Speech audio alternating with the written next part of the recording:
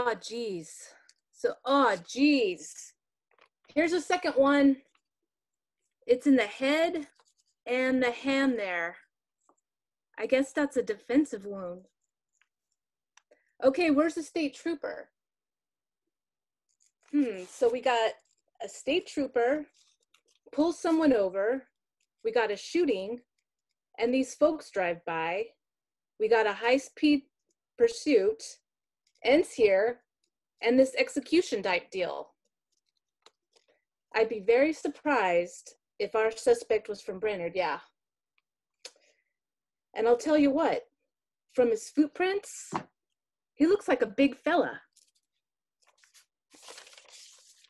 Uh, I just, uh,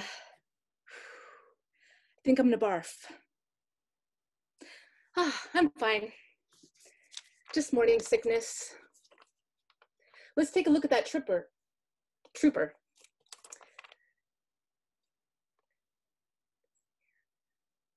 There's two of them over here, Lou. Yeah, this guy, uh, he's smaller than his buddy. For Pete's sake. Well, he's got his gun in his hip there, and he looks like a nice enough guy. It's a real shame.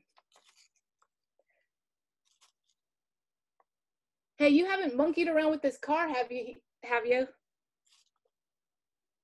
Looks like somebody shut off his lights. I guess the little guy sat there waiting for his buddy to come back.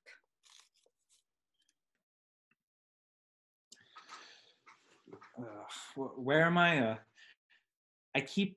I have to. I have to reorient myself. This is this is a uni- University of Wisconsin, right? You know, so I, am always I'm tense, and uh, when, when I'm playing a, a college, I, am very bad history with colleges. You know, I, I went to New York University, and um, I was thrown out of NYU for my freshman year for uh, cheating on my metaphysics final, you know, and I, I, looked within the, the soul of the boy sitting next to me. And when I was thrown out, my mother, who's an emotionally high strung woman, uh, locked herself in the bathroom and, and, took an overdose of Mahjong files.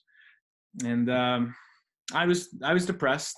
I was uh, in analysis. I, I uh, was suicidal, as a matter of fact. Uh, I, I would have killed myself, but I was in analysis with this with a strict Freudian, and if you, you kill yourself, they make you pay for the sessions you miss.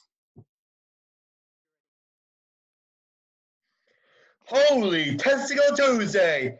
I came to confess I was the second man and on the grassy knoll. Whoa! Now I feel better. Of course, that might not do any good. You see, Nobody's missing a porpoise. It's a dolphin that's been taken.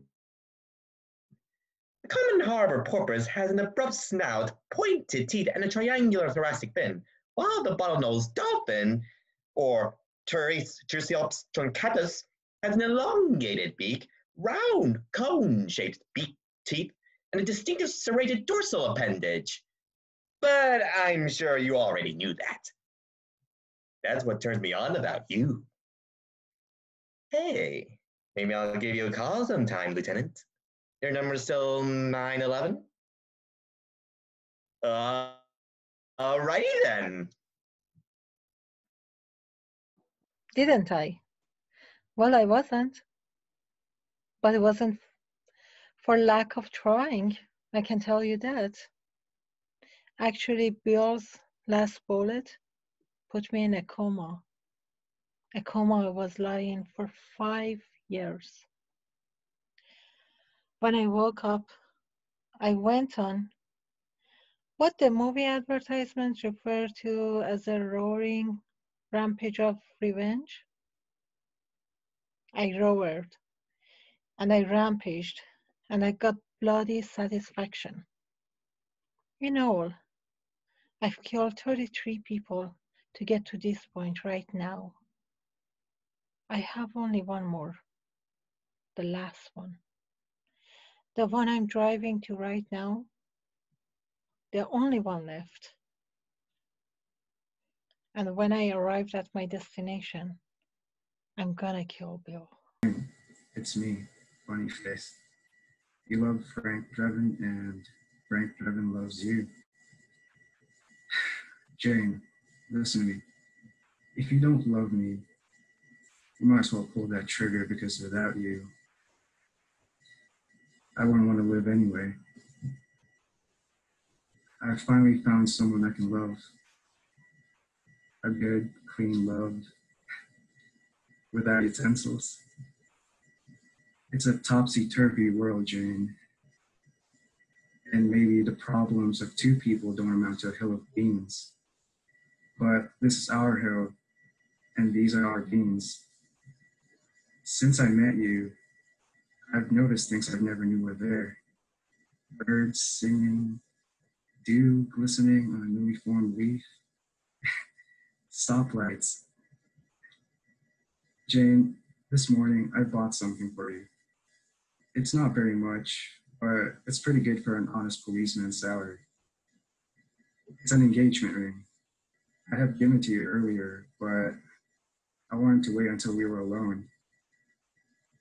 I love you, Jane. I love you. I don't want to try to be loved anymore. And, you know, I don't want to be scared anymore or to kill anymore. I just don't want to be alone anymore. I don't need a reason to kill myself. I need a reason not to. And really, there isn't one. Did you know that identical twins are never really identical? There's always one who's prettier than the other, and the one that's not does all the work. She used me and then she left me. Just like you. I was sheriff of this county when I was 25. Hard to believe. Grandfather was a lawman, father too. Me and him was sheriff at the same time. Him in the Plano and me here. I think he was pretty proud of that. I know I was. Some of the old time sheriffs never even wore a gun. A lot of folks find that hard to believe. Jim Scarborough never carried one. That the younger Jim, Gaston Boykins, wouldn't wear one. Up in the Cuman commu- County, I always like to hear about the old timers. Never missed a chance to do so. Brother Hoskins over in Bastrop County know everybody's phone number off by heart. You can't help but compare yourself against the old timers. Can't help but wonder how they would have operated these times. There was this boy I sent to the to Huntsville here a while back. My arrest and my testimony. He killed a 14 year old girl. Papers said it was a crime of passion, but he told me there wasn't any passion to it. Told me that he'd been planning to kill somebody for about as long as he could remember. Said if they turned him out, he'd do it again. Said he knew he was going to hell. Be there in about 15 minutes. I don't know what to make of that. I surely don't. The crime you see now, it's hard to to even take its its measure. It's not that I'm afraid of it. Always knew you had to be willing to die to even do this job, not to be glorious. But I don't want to push my chips forward and go out and meet something I don't understand. You can say it's my job to fight, to fight it, but I don't know what it is anymore. More than that, I don't know what to know. A man would have a man would have to put his soul at hazard. He would have to say, okay, I'll be part of this world.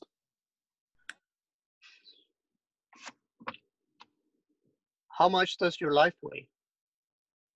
Imagine for a second that you are carrying a backpack. I want you to feel the straps on your shoulders. Feel them? Now, I want you to pack it with all the stuff you have in your life. You start with the little things, the things on shelves and drawers, the knickknacks, the collectibles. Feel the weight as it adds up. Then you start adding larger stuff clothes, tabletop appliances, lamps, linens, your TV. The backpack should be getting pretty heavy now. And you go bigger. Your couch, your bed, your kitchen table. Stuff it all in there. Your car, get it in there. Your home, whether it's a studio apartment or a two bedroom house. I want you to stuff it all that in that backpack. Now try to walk. Kind of hard, isn't it? This is what we do to ourselves on a daily basis. We weigh ourselves down until we can't even move. And make no mistake, moving is living. Now I'm going to set that backpack on fire. What do you want to take out? Photos? Photos are for people who can't remember. Drink some ginkgo, let the photos burn. In fact, let everything burn. And imagine waking up tomorrow with nothing. It's kind of exhilarating, isn't it?